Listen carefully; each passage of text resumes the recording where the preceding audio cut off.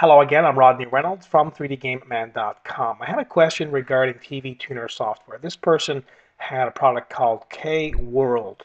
Now, I'm not familiar with K-World TV tuner cards, but I am familiar with TV tuner cards. I've reviewed many, mostly though ATI products. And I really like a program called Sage TV. That's not free, but it is a really, really good TV tuner uh, software program.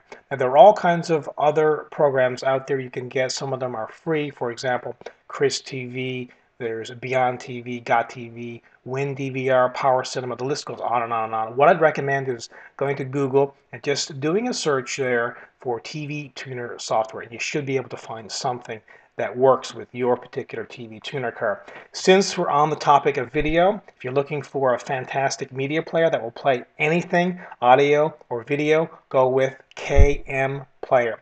KM Player simply rocks.